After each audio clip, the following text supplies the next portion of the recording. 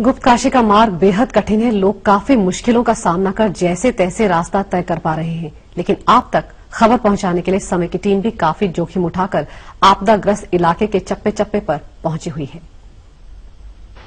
गुप्त काशी जाने वाले मार्ग पर तमाम जगह ऐसी है जहाँ पर रास्ते पूरी तरह टूट चुके हैं और बड़ी परेशानी का सामना यहाँ पर करना पड़ रहा है क्योंकि ऊपर से पत्थर भी आ रहे हैं और जगह जगह यही स्थिति देखने को मिली।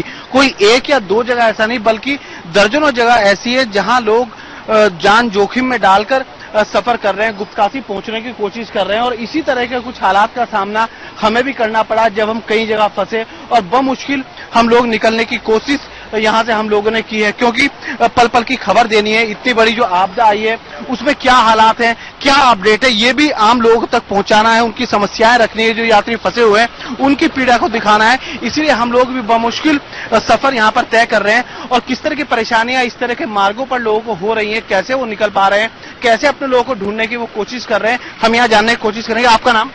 जी, मैं ग्राम पंचायत सौ से प्रधान हूँ। प्रधान जी ये ये बताइए कि किस तरह के हालात है कितनी परेशानी इस समय है? हालात बड़े विकट हैं खास करके हमारे आदमी सारा ग्रुप की बिल्डिंग बना रहे थे चार आदमी कैलाश व्यास अमित सेमवाल और चौहान को क्या?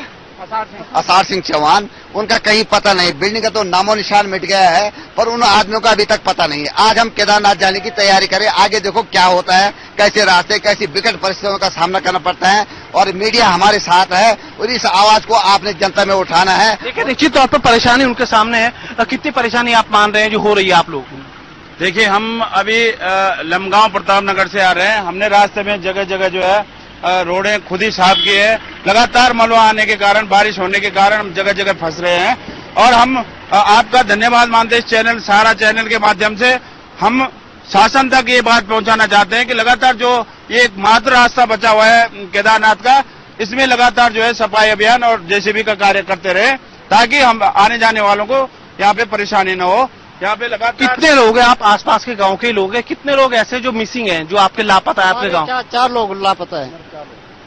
और जो पूर्व ठेकेदार थे हाँ। जगदीश प्रसाद से भाल उनका लड़का था वहाँ देखिए बहुत से लोग हैं जो ला, लापता हैं गायब हैं उनको ढूँढने की हालाँकि कोशिश की जा रही है लेकिन जो परिस्थितियाँ बहुत विकट बनी हुई हैं। यही कारण है कि बहुत दिक्कत यहाँ पर हर किसी को करनी पड़ रही है चाहे वो प्रशासनिक टीमें हो या इसके साथ साथ सेना की टीमें। कैमरामैन मुकेश राजपूत के साथ अवनीश प्रेमी सहारा न्यूज़ ब्यूरो केदारनाथ मार्ग।